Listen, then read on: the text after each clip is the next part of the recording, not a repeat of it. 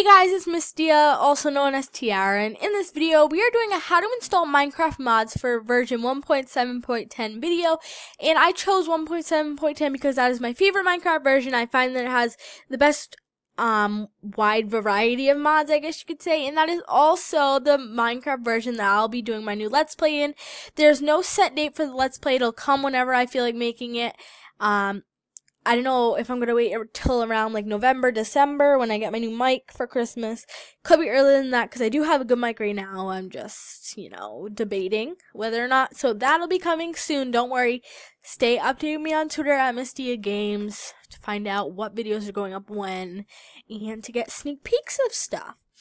But anyways, the first thing you want to do is go into Minecraft, open the launcher, and run a clean swipe, a clean swipe, a clean save of 1.7.10. And if you've already run 1.7.10 before, you really don't need to run it again, but I just like running it once to make it clean. So what you do that. Come on. Okay, and then you would quit. You don't need to do anything. And then you go into Chrome and go to this link right here. All links will be in the description below. And go to uh, you're under 1.7.10 because the link will be sending you to the 1.7.10 download page. And click installer win or just installer. For some reason, it doesn't want to work for me right now, it's very aggravating. Sometimes it works, sometimes it doesn't. It's the website, not my computer, because everything else works perfectly fine. Anyways, hopefully y'all can't hear this noise that's going on on my desktop right now from this like weird ad website but just hit skip and it'll download. Yes, you want to keep it. It says that it's like malicious, but it's really not. It's just because it's a jar file and your computer doesn't usually deal with jar files. So then you would just click on it and this will come up. I'll go onto my desktop so you can see it better. And it says, Welcome to the Simple Forge install, blah, blah, blah. You want to install the client, just hit OK and it will install. Success successfully installed client, blah, blah, blah. So then you want to go back to Minecraft and go down here and run the version they downloaded. So I downloaded 1.1614 and then save profile and then load that. And then when it loads, your Minecraft will come up. And I might already have some mods that are running on this right now, but that don't matter. I'll just do this as an example because I don't feel like taking the mods out of my folder. You won't have all this going on. This is just because I have like 21 mods running right now. But um, when I install the mod with you guys, the tutorial on how to actually install the mod and not just Forge, I will do that. So run it with Forge, quit again, and then go to any place you can get mods. There's two places that you can get mods. The first method I'm going to show you is this version. It's Curse, and I'm just going to download Journey Map. So since it's 1.7.10, go to Other Downloads, and then choose the newest 1.7.10 version, which would be this one. And then this is like not like AdFly, it'll just download right off of Curse's website. Yes, you want to keep, and it is a jar file. But unlike the jar file of Forge, you actually have to go to percent app data percent, just type it in your search bar, dot Minecraft, and then mods, and I'm just gonna like take all these mods out because I'm not running anything with them right now.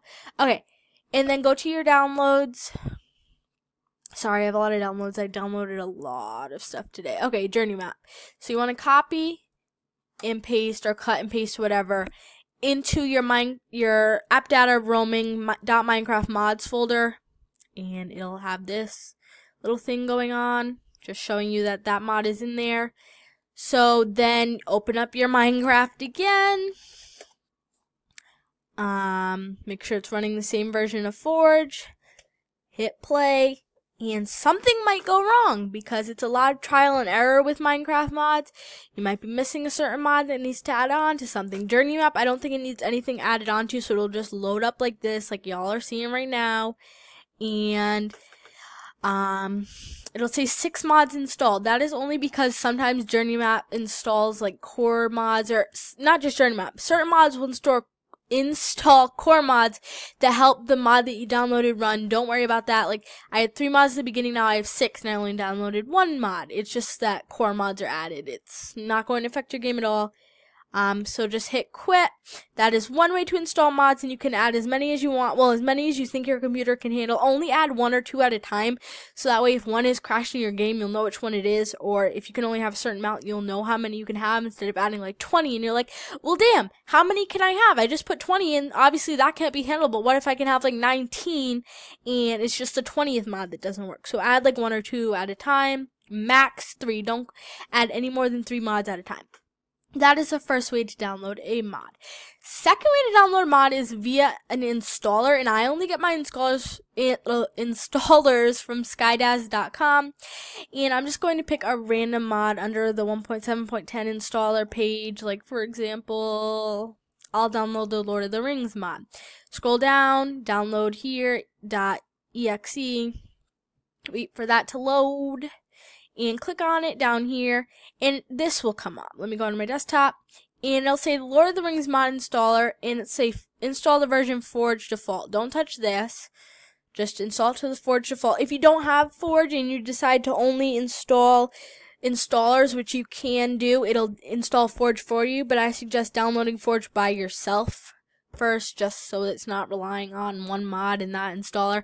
I don't know if that has anything to do with it. I would just say install Forge first before you do use any installers. So then you would just hit install mod. No, you can back it up. It'll take forever because you have to back up like your whole Minecraft folder, but I just hit no. This will come up.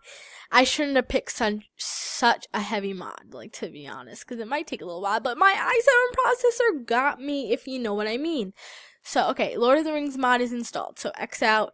And then if you notice that when you go back to app data percent, dot Minecraft mods, Lord of the Rings mod is in there. Okay. Minecraft. Let's go. Load up Minecraft. Run the same Forge version. Like I said, it's a lot of in and out of your game when you just start installing mods. So it'll load up Lord of the Rings mod and the Journey Map mod. And here, this is a perfect example. I need a higher version of Forge than I have. So this is just an issue that happens with my computer because um I could have ran the wrong version of Forge. Like yeah, I was running the wrong version. I have two versions of Forge installed, which I shouldn't. I should probably fix that. But you should only have one version of 1.7.10 installed, and it will be the highest version based on the links that I give you, so you shouldn't have this problem. So just ignore what just happened. But it was just a really good example to keep in the video of how things can be a lot of trial and error. So it's loading, everything's loading up, and it could take a little while depending on how many mods you have. My i7 processor got me.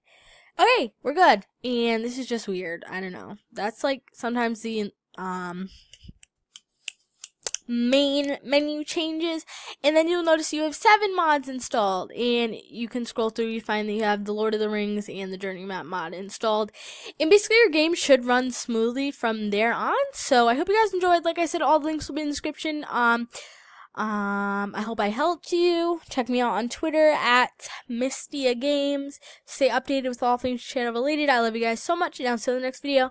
Bye, guys.